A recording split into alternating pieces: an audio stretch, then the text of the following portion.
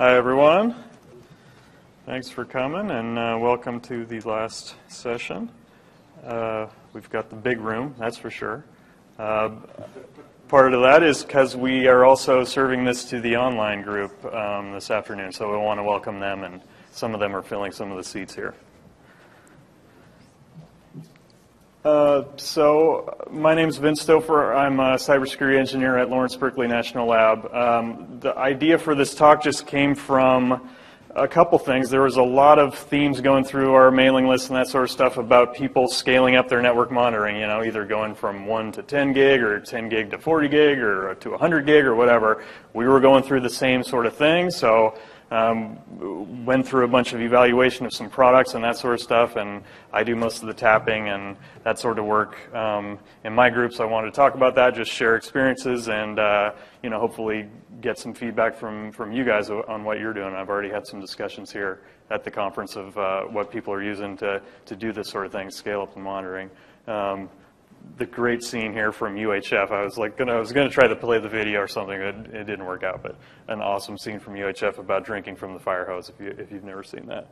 You're a lucky, lucky little boy. That's right. um, well, I gotta turn this on.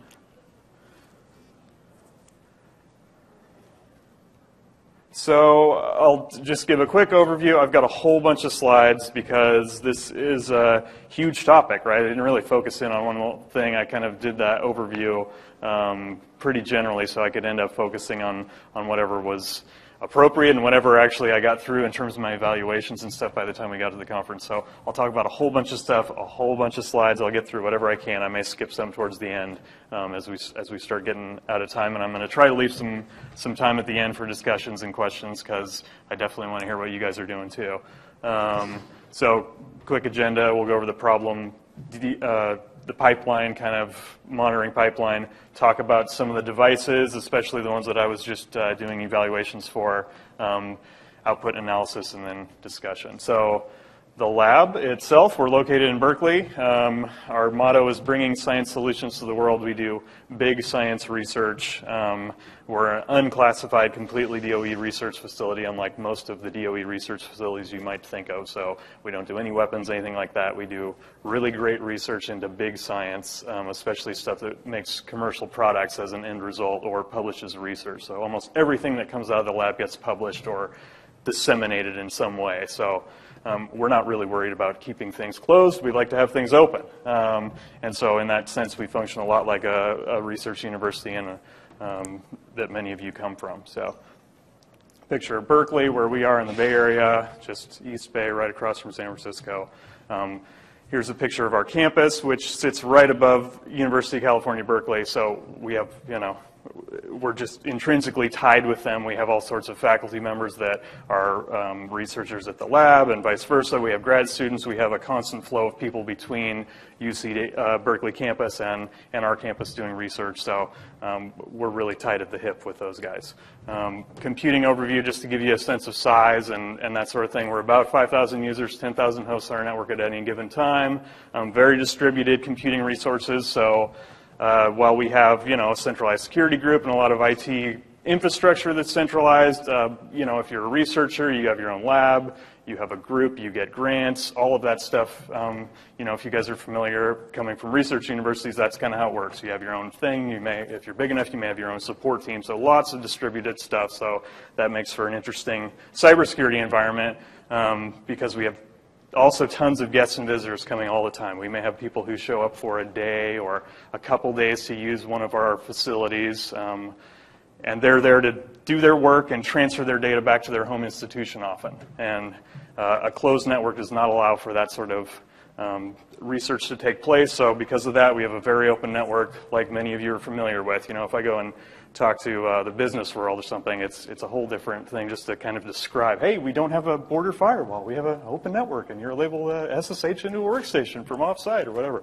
So you guys understand that. Um, so just underscore that you know that's what an open network means, and that's why this problem becomes even greater for us for network monitoring is to be able to scale up to the volumes of traffic that we need to perform research and to pass scientific data back and forth to our institutions and still be able to monitor it. Um, So what's the problem, right? The problem is these order of magnitude changes in network speeds um, mean that we've got to still monitor the same things we were monitoring before. They did one of these massive upgrades, right? Um, it's not just the network that, that gets upgraded, it's, it's our need to be able to see the traffic from cybersecurity and act on incidents and events and everything else that we, that we always need to.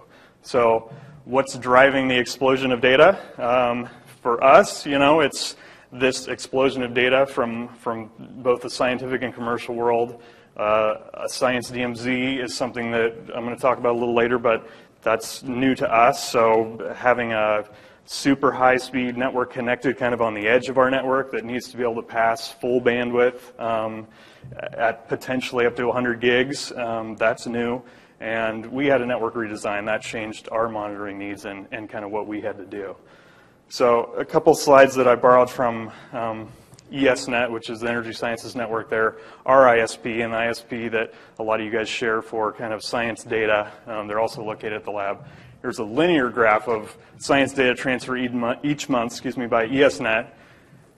Yeah, you know, but it's linear scale, so it's a little deceptive. Here's the nonlinear scale of, you know, how things have changed just in the last couple years, and you can see things are going crazy. It's just spiking to the point where, you know, petabytes of data are being transferred over these networks every every month, every day, whatever.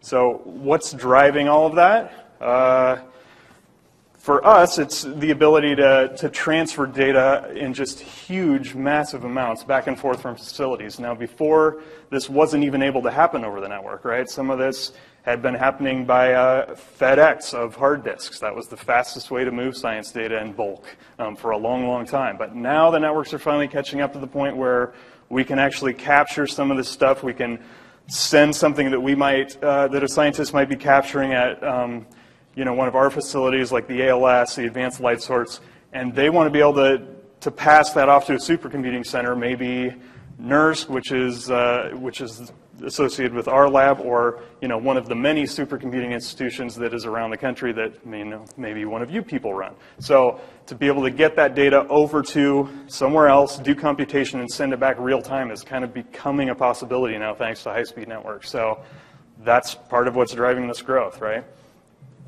So again, this is kind of just general forcing factors, not specific to, uh, to us. Um, you know, big data in all its forms, mobile and the internet things, just data everywhere, right, is being, is being passed over and around and about for all of us. And the research networks play a part in that for sure. Um, and also just outgrowing and you know capacity network hardware forces a network upgrade and then forces us to need to change our monitoring. So all that stuff changes and creates some of these transitions, right? So whether it just is going from 10 meg or a little more up to 100, that's you know that's a paradigm shift for you. If you're if you're operating at 10 meg and you have to go to 100, that means a big change for you, right? Um, so I don't know. We'll talk a little bit about just some of these kind of categories as we go through. But again, these all of these changes mean changing more than network equipment, right? We've we've got our taps. We've got to figure out some way to kind of distribute or aggregate all those taps into something. We've got to filter it. We've got to send it out to our analysis or IDS tools or packet capture or whatever you're doing on the output side. Um, and we've got to be able to do that all at the speeds that the new network runs at, or else we're going to be blind to at least some of that traffic. Now, maybe we'll do that intentionally, but maybe we want to try to see everything, right? So, quick slide on tapping. Where and how do we tap? Well, this is a much debated question, right? Um, we always like to talk about at the lab that it's critical to us to have the inside and the outside visibility. Um, we don't have a border firewall, but we, we do, of course, do blocking at our border routers, and that makes a dynamic firewall that um, mostly feeds from data for us from Bro. And if we're not able to see, you know, what's outside attacking us and what's inside still getting through post our protections, uh, we feel like we don't have the full picture. So a lot of people say, well, there's just too much data on the outside. I can't handle it all. I can't view my firewall logs or whatever. I guess our point is just better to try to have the data somewhere so when you need it, it's there and you can go back to it. Even if that means only saving it for a shorter period of time than you thought you might be able to. But having that data is really critical. And you're not going to be able to have that data from a kind of raw monitoring perspective on the outside unless you've got taps both in and out. So we, we always have focused on trying to have visibility or monitoring and taps on both the inside and outside of our, of our network. Um, putting taps in some key protected network segments also very important for us and something we've worked towards. We didn't start with that. You know, we thought this is good enough or this is all we have money for monitoring, but as you know, pieces of critical infrastructure have moved around in the network. The network's have become more complicated. We've got more load balancers and VPNs and, you know, people coming in and going out of the network in all sorts of different ways. We need to figure out how to be able to monitor that as well. So it's not just, you know, one place in and one place out. We still want to see this stuff and we want to be able to watch traffic that moves internally across our network to look for compromised hosts and people that are hopping back and forth and all that sort of stuff, right? Um, so taps versus span ports, again, one of those things that, that uh, security folks and network folks like to, like to discuss and disagree about. I think I have a preference for passive taps just because, you know, there's no loss um, and no traffic interruption generally. You're just kind of not, you're not relying on anyone. You're just getting, in terms of fiber, you're getting just a little bit of copy of that light that's going through the fiber and no one should know, right? Of course, there's problems, but um, usually just works and you don't have to worry about much. So, but uh, in our case, like I'm going to show you, we need a whole lot of them. In some cases, dozens or dozens of those taps. So that costs a lot of money. If you can consolidate networks and do it with span ports, you know, that's great too. It gives you a lot of advantages to use span ports, be able to do filtering the aggregation right there. Maybe you can use multiple span port outs depending on what kind of network gear you're using. So could be the right answer for you, just depends. I just want to kind of throw those both in there and, and mention it.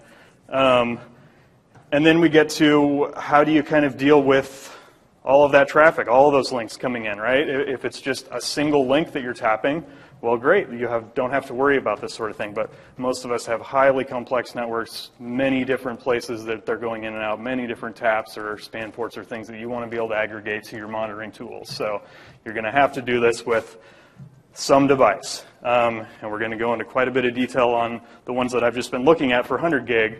Um, but a couple of the, you know, the traditional options were something like a commercial appliance uh, vendor who, you know, high performance stuff. They were buying custom ASICs or engineering these themselves. Very flexible, but very expensive, right? Um, the new hope, which is really delivered, is these commodity network vendors, right?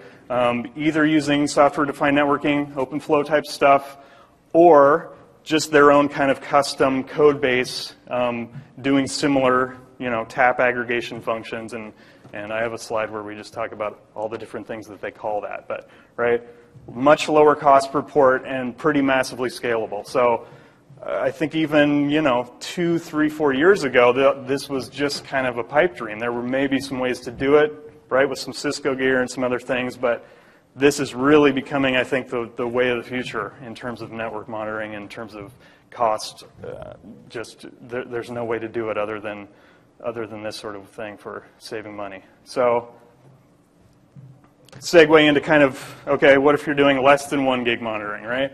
So I think there's not too much to worry about here, right? Um, single tap maybe, a span port, maybe a single analysis machine.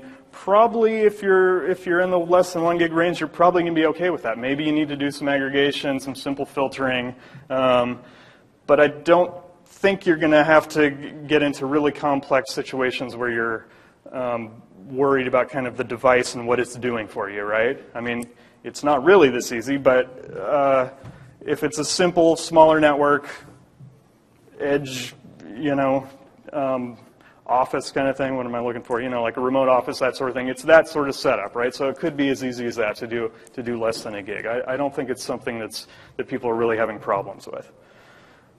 As we go beyond um, a gig, we get into some other problems. But again, less than a gig, a solved problem, Hardware is very capable for doing this stuff.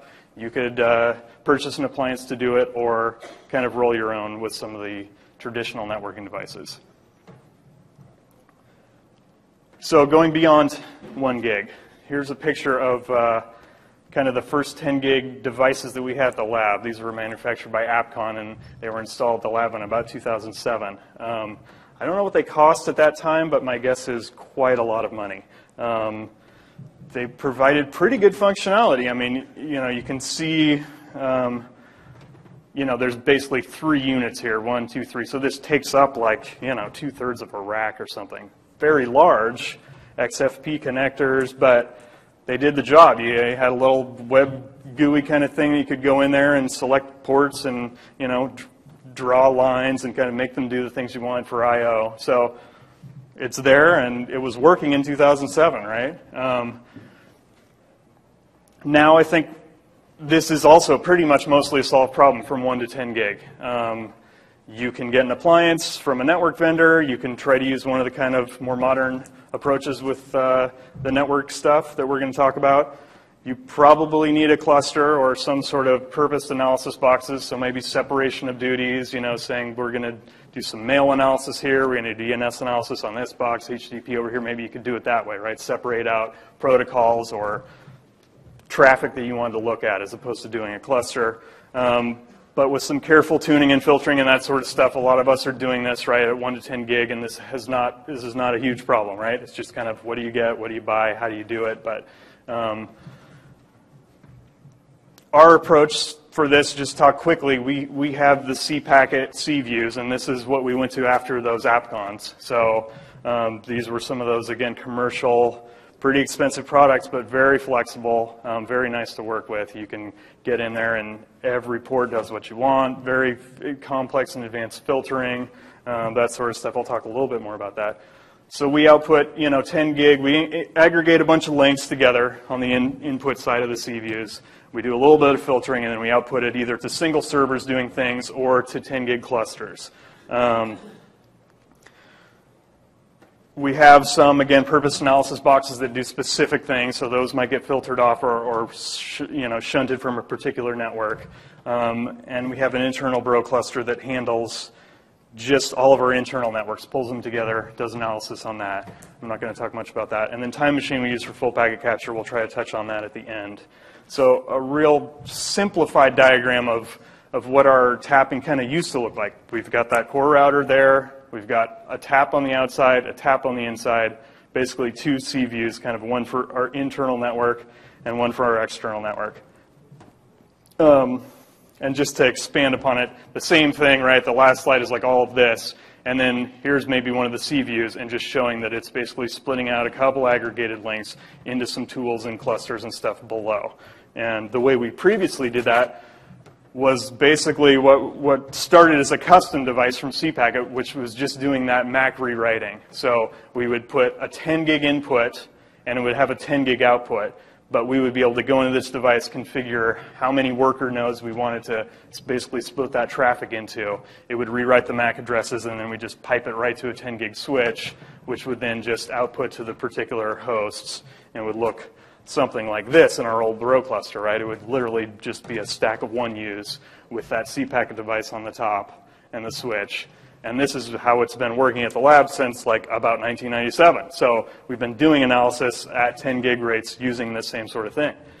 That was working great. Everything was fine. Um, you know, average traffic between one and three gigs, so we weren't really pushing the envelope. We were holding steady, and everything was fine. Um, peaks to six and seven. So at that point, we're starting to see some loss. But there, you know, there's always going to be some loss. We would try to tune that, see what we were losing, try to, you know, do the best we could, knowing that we had loss, and we're willing to accept that in this situation. Um, then we had a recent network redesign. So we did get 100 gig at our border. We have 100 gig in now, connected to ESNet. Um, we got a Science DMZ, so we do have a separate Science DMZ router. I'll show, I don't know, think there's a diagram of that, but Science DMZ, you know, could be a whole hour-long talk, but essentially it's a, an ESNet um, idea where, you know, you have a separate high-speed router with um, very, very high flow rates, um, you know, latency to a minimum, and you connect your data nodes to this Science DMZ router, which is off to the side of your network. You pass information very quickly through, and you avoid the whole rest of the bottleneck of your main network, right? So the quick five second, what is the Science DMZ?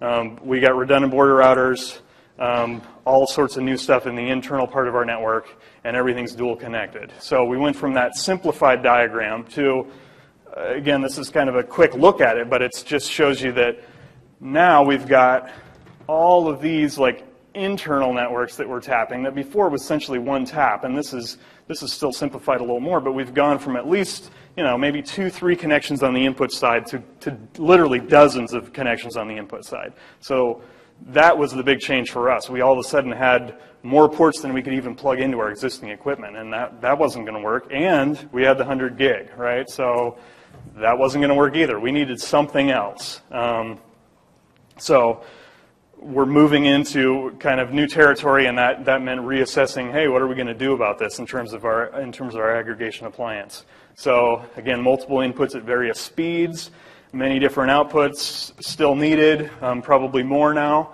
that we've got you know different traffic coming in from different parts of the network. We might want to parcel and chop it up a little more, send it out to different places. So some new output groups. Um, so we started putting together, based on mainly our experience with you know our Apcons and our cPackets, what would we want out of the next kind of round of appliances? What does it have to have? What's our wish list for this sort of thing, right? Um, and just a couple slides on what we came up with that were just kind of bare minimum, or not all of them, I guess, are bare minimum because there's a couple things on there I don't think we actually can find yet. But uh, filtering important on both the ingress and the egress of the ports. Some, some of the devices will do filtering only on the ingress. Well, that's great if you're collecting them all into one particular group of ports that you want to output your IDS, but what if you want to see everything on the input and then you want to, you know, filter on the way out? I think that that's really the way we like to do it, but some devices don't support that, just hardware limitations or whatever, right? Um, we need it to be port speed agnostic, so we could do 1, 10, 100 potentially um, on almost any port because we want to be able to put multiple 1 gigs and maybe take them out to a 10 gig or put in two or three 10 gigs and take it out to even a 1 gig. Say, yeah, we don't care about oversubscription. We just want this one thing. We're going to filter it, that sort of thing. Um, we needed symmetric load balancing and aggregation. Um, almost everyone supports that sort of thing in these devices, but um, you know the way that those hashing algorithms are done can vary had to make sure that we at least have this kind of five tuple load balancing, which would be protocol, source IP, dest IP, source port, dest port. So we can minimally ensure that we're seeing both sides of, of a connection go to the same worker, right? So if, if we get the connection coming in, sometimes that hashing algorithm, if it's not done in that, in that five tuple minimum, might have one connection going in and we get that all to one worker, but the output side goes to a different worker. That's not going to work for us. Bro doesn't like that. Um, a lot of the you know analysis um, you know software is not going to like that. So we want to make sure that it's all correctly aggregated and load balanced. No subscription limits was a big one for us because again we had all these internal links coming together, and we want to say we may have 30 10 gig ports coming in, and we want to send it out to one gig port. And one of the vendors was like, well, you're never going to be able to do that. You know, you're never, you're not going to be able to monitor all this traffic. And I said, no, no, no.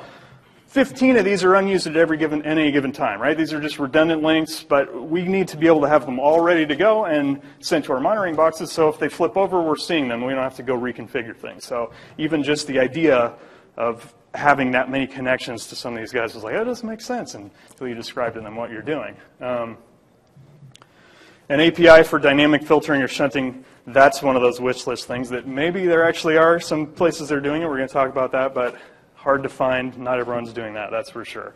Filtering. Uh, again, the filtering varies pretty widely, so this is another part where we found the device vendors kind of varied quite a bit on what we could filter for. Our, our preference would be just any sort of arbitrary IP header or TCP flags. Um, can't always do that, right?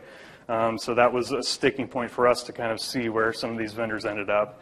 Every port could be I/O. I talked about that, so you can um, you don't have to specify. Well, these six ports are input, and then you're only you know you've got 18 left to do output. We we didn't want that, and most of the devices will say you know any one you cannot do input or output. You just select it, go, and you're good. Um, port groups, IPv6 support, another one that's kind of um, not supported everywhere, but something we really wanted to have.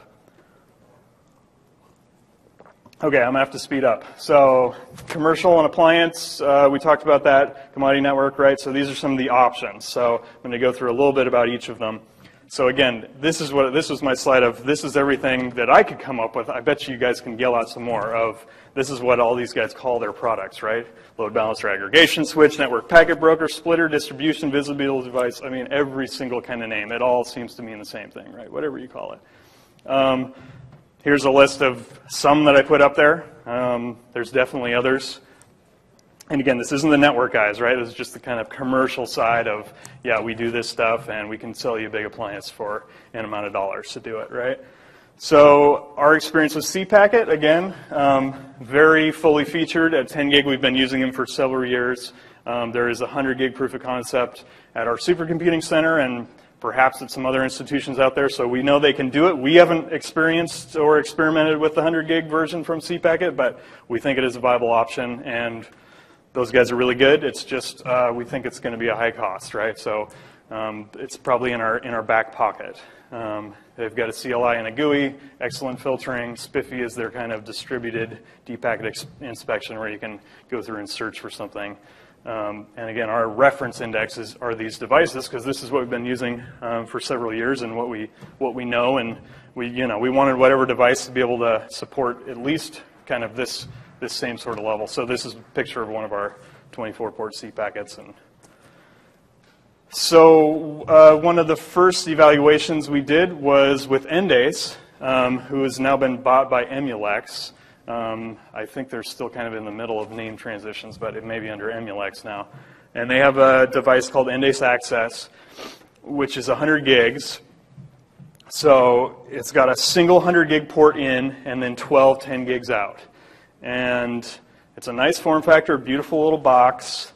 Um, one of the first things was, well, you need one device for each direction. Oh, well, that, that's nice. I guess we have to buy two of them then, huh? Um, so that was one thing.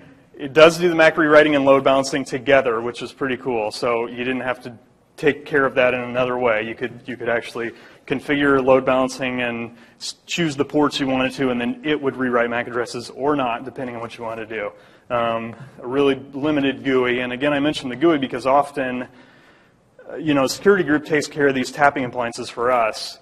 And it's fine if I can go in and do the stuff on the CLI, but if I'm gone or sick or someone from the network group that doesn't know this needs to get in there, a CLI has been real handy. Um, I mean, a GUI has been real handy for folks to go in and say, you know, it's a quick look. You can see a drawing. This port goes to there. I need to move it over one thing. They can do it, right? They don't have to know all the stuff about some particular language that is Cisco-like but isn't. Um, so I think it's important for, for a GUI to work. So. Um, limited filtering, if any, on the Endace, that was a sticking point for us. And I think ultimately we decided this isn't going to work for us because there was no 10 gig in, and we it ended up being we needed 100 gig and a couple 10 gig ports to be able to aggregate. So there's a picture of the Endace access. But again, a device probably worth considering if you're you're looking at 100 gig. So. Um, and so those were the two commercial ones we looked at so far.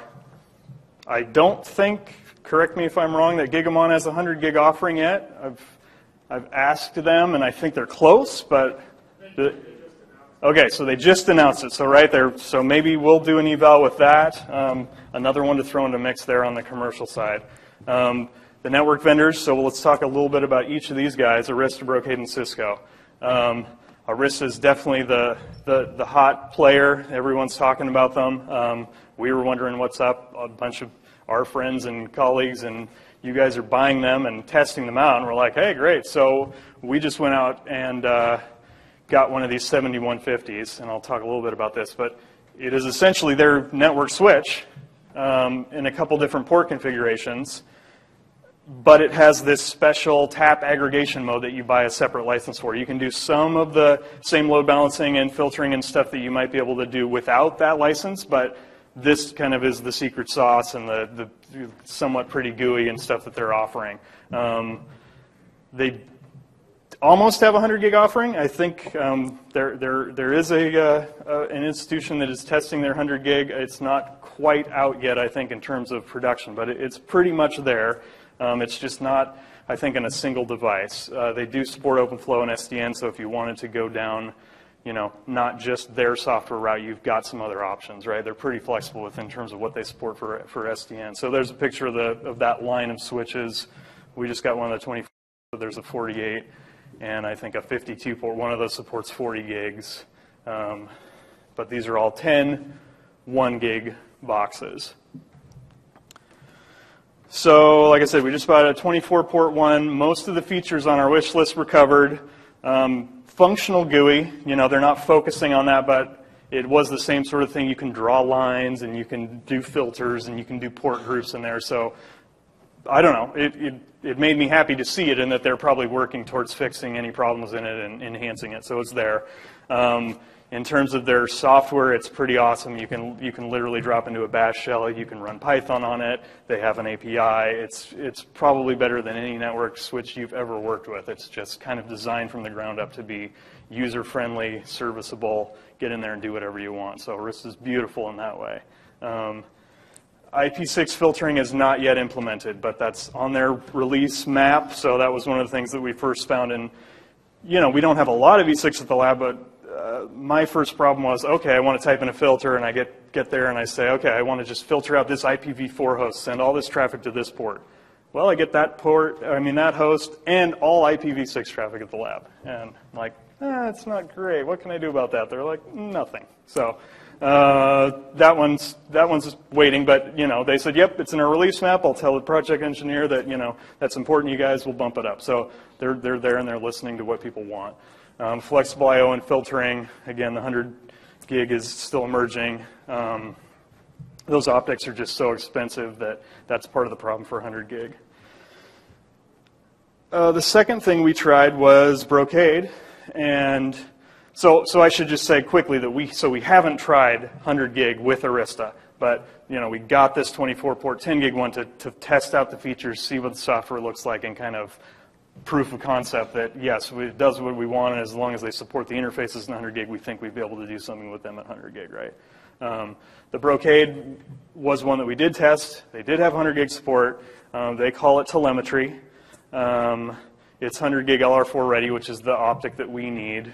Um, it certainly feels like more of a feature of a switch and, and not anything, even like the Arista feels a little bit like, yeah, it's a switch, but they've got this special piece of software, right? And, and the Brocade feels like it's a switch. And it has a couple commands that do some of this load balancing and aggregation stuff, but it doesn't feel like it's kind of purpose built for what we want it for. Um, but it mostly works. Uh, there is OpenFlow support and some sort of hybrid mode, kind of like Arista. They both have this where you kind of run the vendor's code, and then you can run some SDN applications or stuff on top of it. I haven't experimented enough with that to know say anything about it. Um, but here's a picture of it in our lab um, as operating. You can see 200 gigs split the directions on the top input, and then it's just like a big kind of four port chassis essentially. So these are 10 gig chunks down here, and we've only got it partially populated, but you could fill that thing up. And I don't know, maybe 48 ports of 10 gig or something like that, one 10 gig at the bottom. So pretty flexible because you get a lot of density there and you get the 100 gig. So it's definitely an option that we're looking at. Um, mostly did what we want. There is no GUI. Uh, it was just a kind of funny story about the three VLAN tags. It, it, ended up being, to their credit, this was just a software bug with them. But we got all set up and getting in, all of a sudden I'm sampling traffic and the traffic has three VLAN tags. It's like, wait a second, what? I mean, this isn't even RFC possible. I mean, but yep, you can strip them off, and if you're in TCP dump, right, it's like VLAN and VLAN and VLAN and your search filter. So it, it was just kind of funny to see that. They fixed it. It was just something in the code. So that, that was just something to mention because it was kind of funny. Um, filtering limitations definitely couldn't do all of what we wanted. We're not able to do kind of control packet TCP flags, which is what we wanted. You know, if we want just SYN and SYN, SYN-ACK and FIN and resets was kind of what we usually want. Say we'll just ignore all the data. We want to see the setup and tear down of the sessions. Can't do that right now with the Brocade. I don't know if they're going to fix that or if that's a hardware limitation or whatever, but again, one of those things that you start getting in there and you look at and it's like you just kind of assume it will do it and you start looking at some of the documentation. Oh, other Brocade switches do the same thing, but how come this one doesn't support it?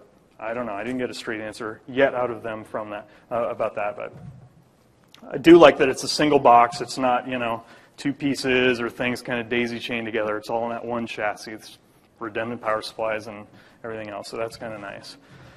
Um, the Cisco, I have a little bit less to say about it because I haven't done anything on it, but I know their SDN support and OpenFlow support, I thought was just like, I don't know, they were just pushing away further and further from, I know, this thing called OpFlex. Um, but then I found out they had this thing called Monitor Manager. I don't know if anyone is familiar with it. Jeff? That is the MLX-E, I believe. That's the, the only one that supports the 100 gig, but they do support that telemetry feature on some of their other devices. I don't know which ones exactly, but um, so I, I, don't know. Cisco has this thing called Monitor Manager that appears to be the same sort of thing that Brocade and Arista are doing. I, I haven't messed around with it enough to know what it's capable of, but um, just talked to another person who's thinking about rolling this out. I think it's Nexus switches, but doesn't have to be the huge, massive chassis one. I mean, I think it can take some use some of their smaller gear, and the cost could be competitive depending on you know what your Cisco discount looks like. So I don't know. This that's definitely another one to kind of look at and, and keep in mind, but something I can't speak much to um, right now.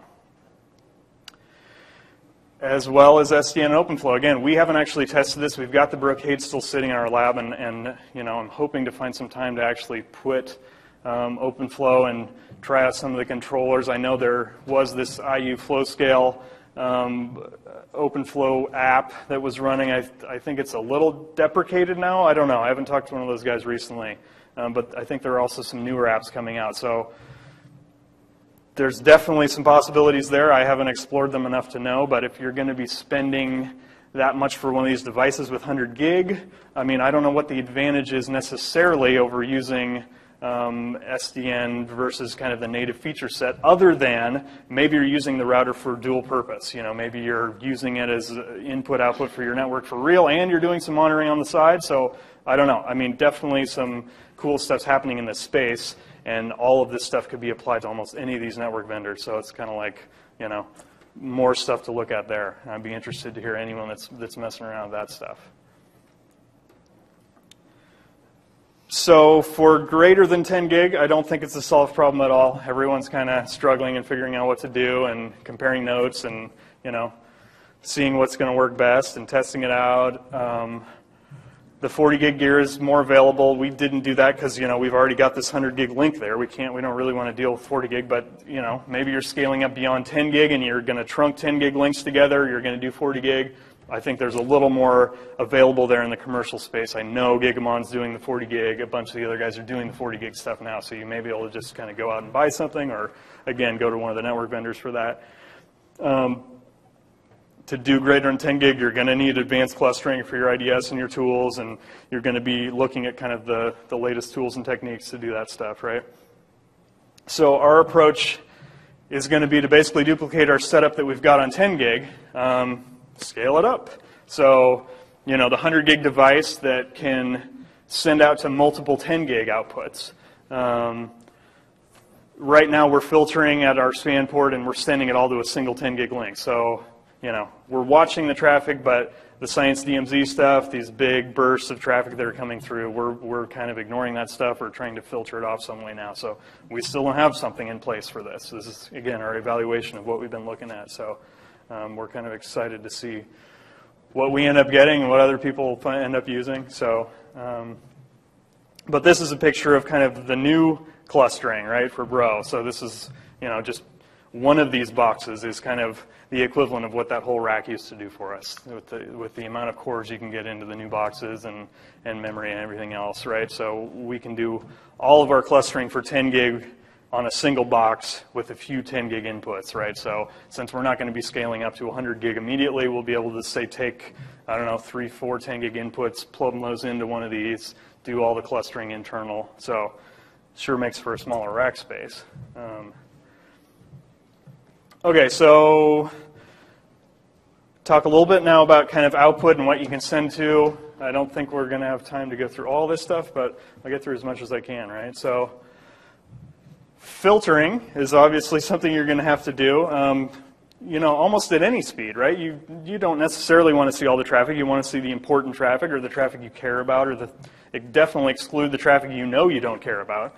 Um, so again, I talked about the control traffic a little bit, the elephant flows, that we call them for you know science data, where um, you might have a, a multi-hundred gigabyte or terabyte file that gets transferred, um, and you just really don't care about any of that data. But you want to see the connection, you want to see where it's going to and from, so you don't want to miss that. But if we're able to cut down those elephant flows, we're just massively reducing the amount of um, traffic that we have to monitor with our IDS. So that's important. So we're, you know, anything that can do it dynamically is great, but you know, even exclusions of IP pairs or ports or net blocks or whatever is is something to look at, and that's definitely we're looking at that stuff, right? Just take out some of these grid FTP transfers, or you know, we know that the DTN over in CERN is always transferring to this one computer at the lab. We're just going to ignore both of those, or you know, whatever. So some simple ways to just kind of reduce. Um, maybe the research networks or your ResNet or whatever can be taken out of this big stream of traffic, put off to somewhere else. Um, I think the the holy grail is the is the dynamic filtering, and uh, just talking with Justin um, a little bit, Justin Azoff about them doing this with Bro in almost near real time um, via an API to Arista. So I mean, it's there the capability is kind of finally arrived that we'll have a device that supports the ability to do this almost in real time and then plug it into your IDS and say, you know, every time you see this particular type of connection, every time you see a connection above this size, every time you see a connection with these characteristics, just tell the Arista I don't want to see it or I want to send it off to this port 10 where I have a specially built, you know, capture device there, some sort of special filter or whatever. So the ability to do that is, is is totally awesome, and um, hope to be doing that soon.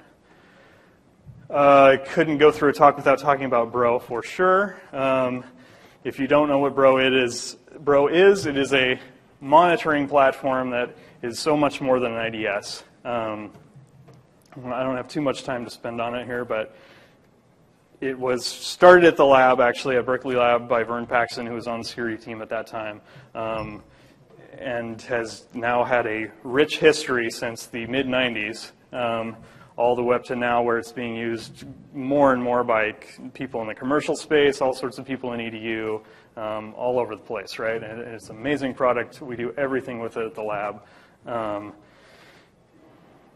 a picture of just kind of it as a platform, right? So traffic comes in through a tap or a monitor port or wherever into Bro. It does the kind of piece that's in that in the yellow there is its kind of internal structure and its processing and language and library and you know there's kind of the concept of the the bro core which which you don't really do too much with and then the scripting layer that you're able to interact with as a user and and that's where all the power from bro comes is it is a full programming language that you can do almost anything you can imagine with your network traffic with. Um, so everything from recording rich semantic logs doing kind of traditional style intrusion detection, not necessarily signature based, but better than that, right? Um, file analysis, custom logic, um, vulnerability management. There's there's so much that Bro can do that if you aren't using Bro or haven't explored it, you you absolutely need to. Um, and clustering is just a built-in part of Bro, so it, it's it's its concept of running standalone is perfectly fine, and it can do that, but clustering is just um, a, a, basic thing that Bro does, and so you're able to scale Bro horizontally, essentially, with your traffic flow. Um, so there, there's you know several ways you can do that. You can do that again, like we did with the hardware load balancer, where you've got 10 pizza boxes and each one of them is getting a network drop, or you can do that kind of cluster in a box that I talked about, where you might have a 10 gig pipe in and then you're using something like pfRing on Linux or the Myricom drivers or NetMap or some other way to kind of split that traffic inside the operating system into different chunks that um, Bro can operate on as workers. So um, a quick picture of kind of what the cluster ecosystem looks like for Bro, but you know, essentially you've got that same picture that we started with with the tap. You've got some sort of load balancer at the front end, splitting it into these multiple Bro workers. And then the, the concept of a manager is kind of who's control, the Bro is controlling all these workers and all the logs and everything are getting aggregated back to the manager where you're able to control what's going on, push the scripts in there, do everything you need to do. Um, Snort and Suricata, again, uh, another well-loved and, and used tool in, in security. Um, definitely capable of handling multi-gigabit loads. Uh, the, the, just like Bro, the network cards matter, right? You, you can't be doing processing at, at greater than gig speeds um, using crappy network cards. It's just, it's not going to work. So um, you've got to pay a little attention to either the cards you're buying or the drivers you're using and, and all that stuff. Tune the rule set, um, separate and filter, the same sort of things we talked about for any sort of output are important doing snort stuff, right? Um, a quick look at some network cards. Uh, the Intel cards um, support the PF ring, and you know there's several ways that that works. This libDNA and zero copy and all that stuff. Um, but essentially, what it does, right, is provide direct memory access to the network hardware and bypass the kernel, give it directly to user space so that there, there's essentially zero latency between the time that the packet is received and the time that it can be processed by whatever um, software you're using. So that allows for high throughput. Um, you can support multiple tools using pfRing, which is pretty nice. Um, so you can run Bro and you can run Snort and you can run your packet captures or whatever you're doing on the same card and splitting out that traffic on the same box. Um, at the lab, we're using the Myricom. That should be COM at the top, not CON. Um, so they have something called Sniffer 10G, which is their 10 gig advanced driver that um, has support for Linux and FreeBSD. It only supports these 10 gig Myricom cards. Um, and right now, it only supports one tool, so that is a limitation. Again, you can, you can support multiple workers or you know splitting that traffic up on a single box, but it all has to go to one particular application. So it's only going to be split once. You're not going to be able to have multiple copies of that same traffic. But um, that's that's that is not only fixed. I think it's already in potentially a beta release. So multiple tools will be able to use the Myricom drivers. It did uh, get sold. The company was sold and some people left the company, but I don't know. I, have heard that things are still going well there, and I think we're, we're encouraged to, to enough to still be using the Myricom cards um, at the lab. There are certainly other ones, like the Endace cards, um, highly um, custom built kind of hardware accelerated cards, very high performance, definitely can do, um, you know, greater than say, I don't know, two to four gigs. They can definitely do more than that on their 10 gig cards without, without batting an eye. Um, and they have support for as many tools as you want. But again, these are very expensive, right? While the Intel and Myricom 10 gig cards we were talking about are maybe $500 range, right? The Endace cards are thousands of dollars. So um, we've never messed around with those, but I know there's some people using them with great success for sure. So. And just a couple last things here, I guess, to talk about Time Machine. Um, this is what we use for our full packet capture.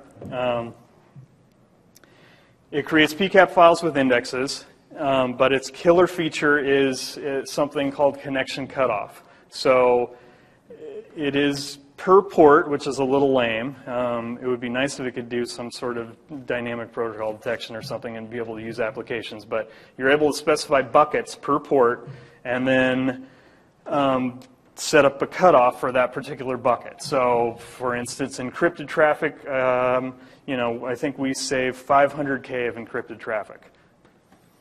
By cutting down the amount of encrypted traffic that goes over our wire to 500K per session, um, you know, I don't have the slide on here of how much band, of how much disk space we save using these sort of techniques, but after some tuning and messing around with Time Machine, we're able to capture almost full packet, which by that I mean like 99.9% of almost all protocols um, in about 20% of the disk space that we would use if we were doing full packet capture. So it is a really cool product.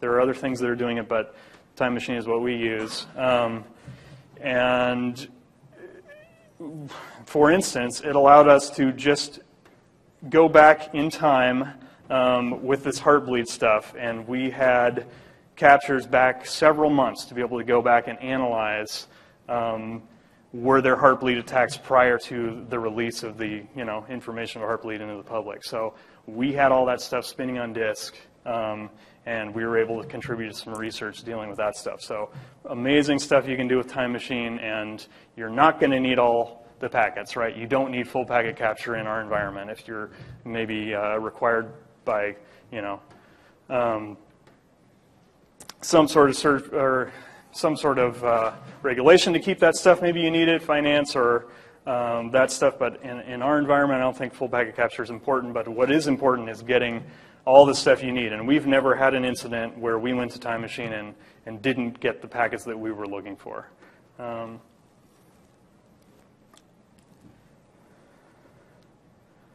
So one more thing to talk about is Moloch, and I don't have any experience using it, but it again is also um, a PCAP recorder that does index and searching. It's Elasticsearch based, so reads in the traffic and writes PCAPs into an Elasticsearch database. Um, and then it indexes them so you're able to search and do all sorts of cool things that you might be able to do on a SIEM on that traffic. So um, we haven't messed around with it. I've heard really good things. Uh, I don't know in terms of its capabilities of writing at high speeds, you know, since it is using Elasticsearch. Um, I don't know, we've run into problems trying to use Bro and Elasticsearch and, and traffic volume, so I don't know how it scales up, but I think it's pretty encouraging just because Time Machine is a relatively old and somewhat crufty kind of project, and Moloch is definitely being worked on right now. People are interested in it. Um, there's some hype around it. So it, it is not supporting v6. That was one, one problem um, that we found. But again, it is actively being developed right now. So something to look at. And probably some of you guys are using Moloch. So I'd love to hear about it. so that is actually it. I got through uh, everything in time. I'm, I'm glad. But I'd, I'd love to open the floor and to the online folks for uh, questions and discussions about any of this stuff because, again, I am learning about all this stuff and looking and evaluating the products for our project, and a lot of you guys are doing the same thing. So, any, any other experience or tools or products or stuff that you've been looking at, especially in terms of the, the appliance and network vendor type stuff, I'd love to hear about it. So, please speak up. Come, come up to the mic if you want. Um, and, and chip in. So we'll go ahead, you guys, and we'll start with the online folks, and then we'll. Uh, we'll yes, we have a question from our online audience. Do you feel clustering solutions to analyze data, such as Hadoop, are overkill for analyzing massive amounts of data, security logs from various sources, whether real time or historical logs, or are tools such as Splunk and Logstash sufficient given their high ingesting and indexing rates, fast output engines, and search capabilities? Well, that's a big question. Um, I, you know, I don't know. I think it really depends on your environment. You know, those sorts of tools uh, depends on what your workflow is, what you're working with, what you need to do. Um, for us, our bread and butter is the Bro logs, and I can tell you we've tried almost all of those technologies, and we still go back to ASCII logs and using GNU Parallel with, with fgrep and awk and you know the command line pipes that we run, we still find that that's faster than using most of those other tools. We've, we've got Splunk, we put a lot of stuff in it, and we use it for some things. Uh, we have massive amounts of logs that we process, but again, we don't usually do those in, in one of those distributed kind of clustering environments. So that, that may be just partially due to the way we've run things in our operations. So I think it's hard to say. I think you, you really got to look and evaluate what's right for your, your environment and what you do. So, yeah. Hi, uh, Mike from Penn State. You talked about um, looking at taps at the uh, outside of the router, the inside of the router, horizontal traffic, uh, vertical traffic. What about deduplication of all that traffic? Was that something that really played into your needs at all? Yeah, I mean that's that's a big concern for sure. Um, some of the devices will handle deduplication. Um, you know, there's there's issues there, right? You've got to make sure the timestamps are really accurate. You've got to make sure you're getting the data in, in ways that aren't overlapping or doing something weird. The device is going to get confused. But um, in terms of us, we generally separate everything on the inside of our network and the outside, and we just have separate browser analysis running on that traffic. So we've essentially, we'll tap it all at one place on the inside and make sure there's no duplication in where we're tapping, um, filter that all down, do the filtering whatever, but we don't have problems with deduplication just because of the way we tap it. Now, someone else, uh, I was just watching give a presentation, and they said, you know, we have this number of routers and they're connected in such a way and we, we sat down and thought about it and we thought, well, if we only tap the, you know, inputs on this side, we should be able to see everything and we won't have any deduplication. And again, they were able to do it that way without um, relying on one of the, you know, vendors or the appliances to do the dedupe, which I, I think if you can structure it that way, you're probably better off, right? You're just guaranteed there's no duplication. You don't have to worry about what the, what the product is doing. But yeah, big problem, and depending on how your network is set up, um, maybe not easy to do. I mean, there's certainly places where, you know, our network may be set up in such a way that's still simple enough that that's an easy task to tap at the right points and not have duplication of traffic. But when you're doing, you know, load balancing across multiple links and that sort of stuff, it gets much more complicated. So um, something you've got to look at in, at your place for sure. Yeah. Jason from WashU. What does your back-end disk systems look like? How are you storing all this data and how are you writing all this data out? Mostly in the past, we have just had um, single purpose machines, you know, big, just direct attached storage. So big single units that, you know, 48 disks and they're direct connect to our boxes. Now we'll push most of our logs to a central collector, so all the bros, you know, we dozens of bros running, all that then sync their logs nightly back to one of these central collectors, and then we do most of our analysis on either that collector box or maybe push it off to something with a lot of cores to do analysis. But mostly that's where we've been at. Now we're exploring. Um, you know, a SAN that will be able to connect on the back end to lots of our devices and see can we write at the speeds that we need to be able to write at over a SAN. I don't know. We don't really know yet. But at this point, the only way we've been able to handle it is just direct attached storage on, you know, a purpose device like that. Does your time machine box actually write out Yeah. gig a second?